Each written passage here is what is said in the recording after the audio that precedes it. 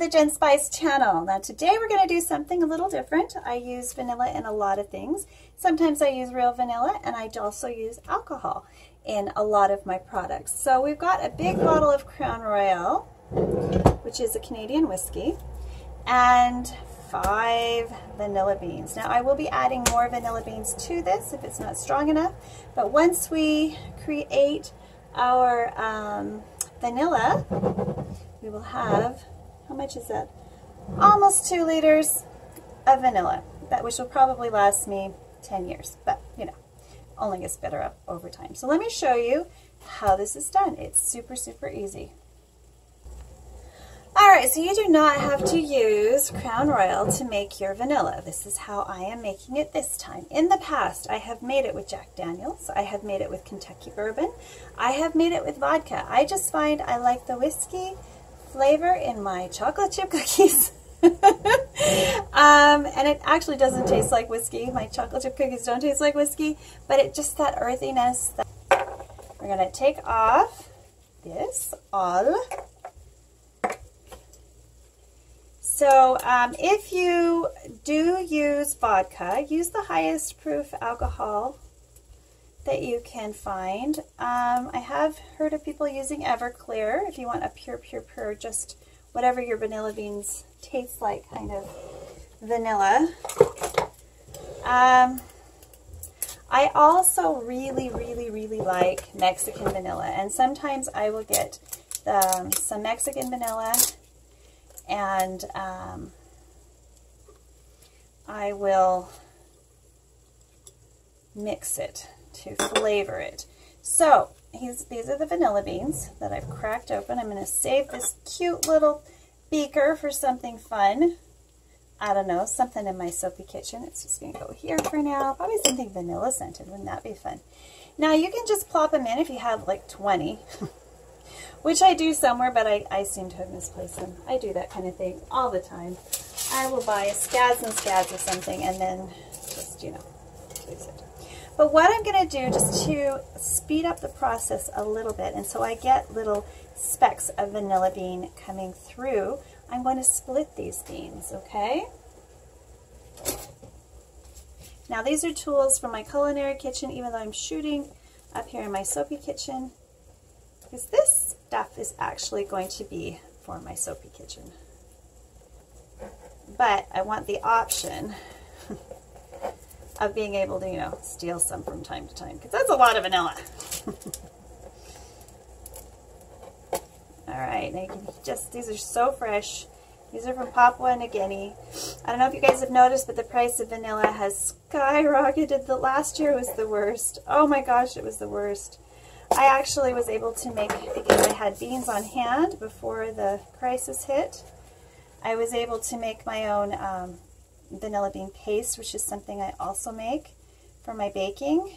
So you get all the nice, wonderful vanilla beans. So I'm going to open this up a little bit. I'm not just going to split it. I'm going to expose it before I pop it in with that fiery mixture. Just a little bit. Not completely, because I'll want to use some of these beans um, in my baking. I will often, if I'm putting new beans in, because these will last forever, right?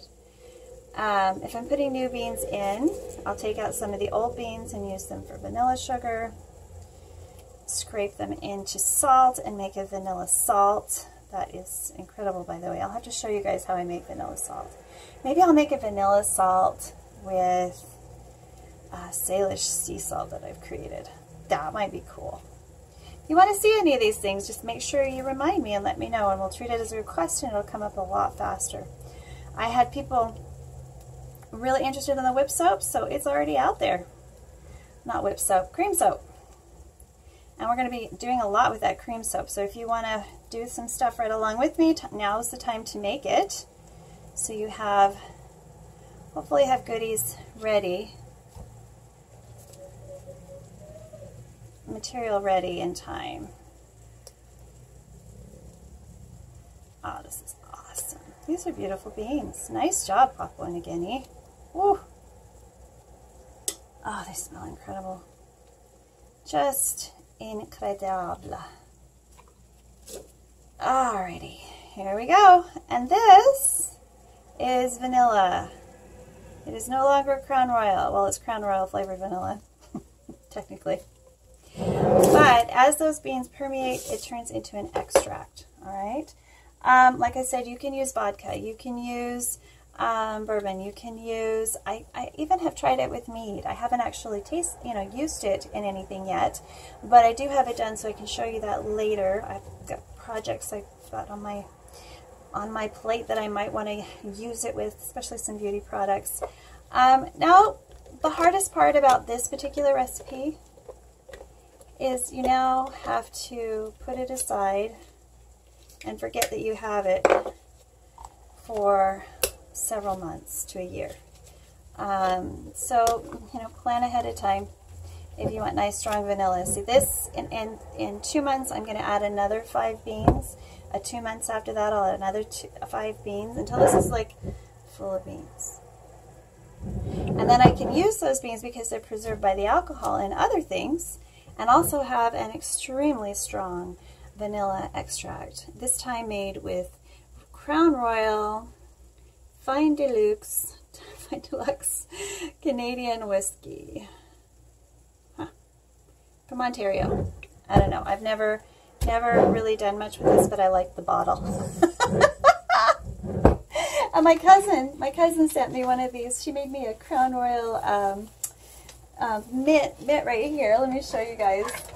I totally need to put it in the wash because I've used it a lot. She made a mitt out of this, out of one of the, I guess she got one that came in a bag, like it was really special for the holidays or something, and I, I know it's dirty, but thank you, thank you, thank you um, to my cousin.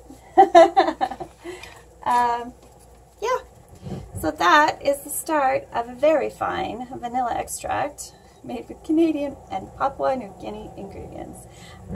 Okay guys, welcome back to my kitchen. Here is a big jug of Crown Royal vanilla. All right, look at how it's changed in color. It's a nice dark amber.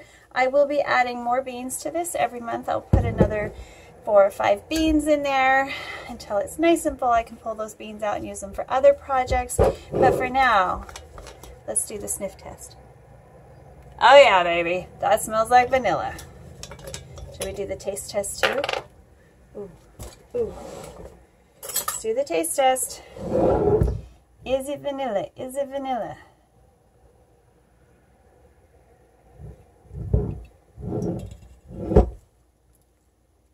Oh yeah, that's vanilla. Oh, that's nice. Okay, there we go. Crown Royal. Oh my goodness, that's an awesome vanilla. Vanilla. Okay, so we're going to do some more of these vanilla beans. If you didn't uh, see it before, we'll see if we can. I got these at Costco. You can get these about 20 bucks right now for five beans. These are from Papua New Guinea.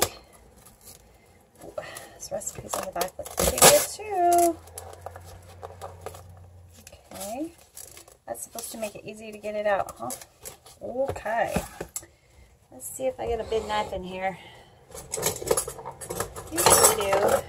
Yep. Okay. Ah! Yes, see, one of these days I told you I was going to hurt myself. Okay.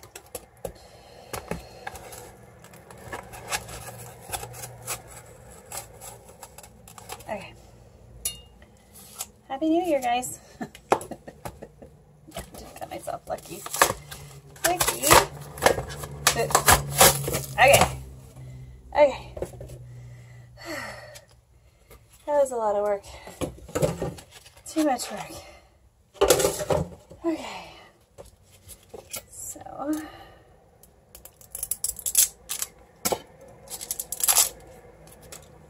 I love these little, I love these little beakers. They're so cute. So we have five beans. We're going to put them in.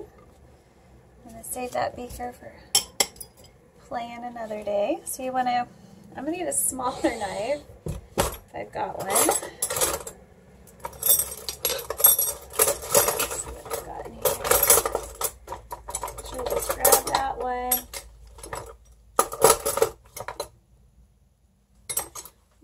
Beans are downstairs, not in my soapy kitchen.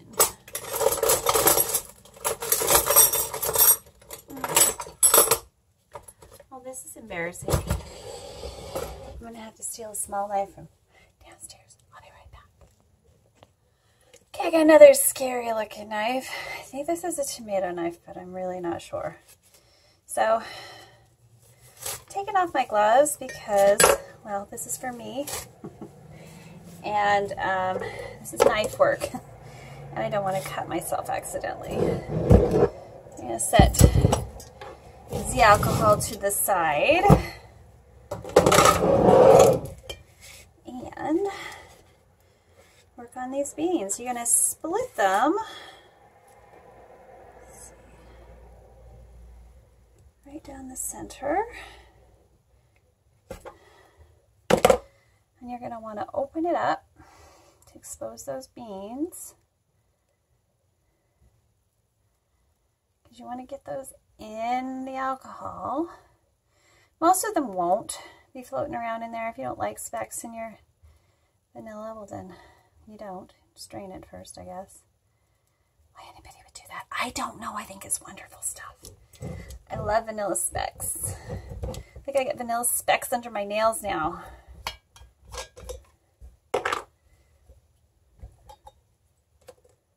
pop that in. We've already got a dozen or so in there. We're going to put another five.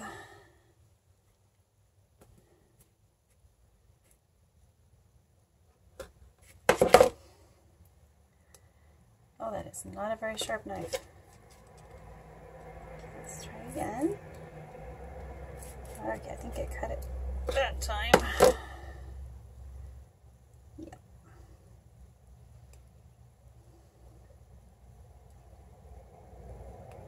No.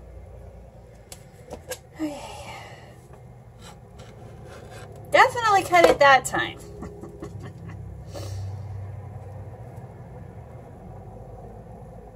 Definitely open that time. Get in. So has anybody else made their own vanilla? And if so, what kind of alcohol did you use? I know a lot of people like to use vodka, but for some reason we tried Kentucky bourbon one time, and uh, I just had to try a different whiskey. I just had to, and this I think is going to be nice. Look at all those beautiful beans. My hands are going to smell heavenly. Probably for a day or so. Well, the rest of this night anyway. Oh my goodness. Nice juicy beans. I don't know why Costco was blowing them out. Does anybody know why they wouldn't be getting the Papua New Guinea beans back? Maybe they're getting them from Mexico or Morocco again. I don't know. It is a new year. Maybe the crops are back. I'm swing, I don't know.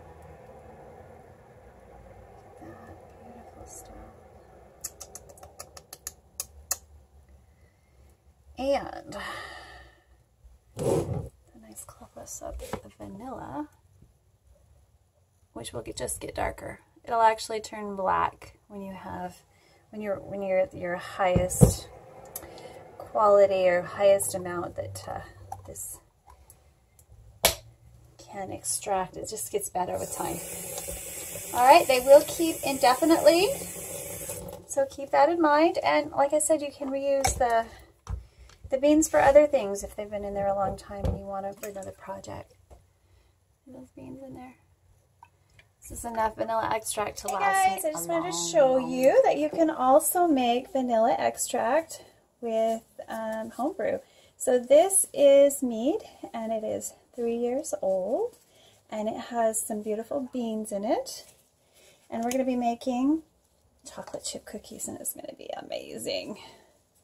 So you don't have to use vodka, you don't have to use whiskey, you can use any kind of high alcohol um, beverage. And I can, I'm going to add more beans to this because that little bit made it, wow! Um, so it's going to be wonderful, wonderful cookies with this. And um, I've made these for gifts for my family in the past, and I will definitely be making some more soon. So we'll see you guys next time. I hope you enjoyed learning how to make extracts, in particular vanilla extract, and I hope you give it a go on your own. Okay.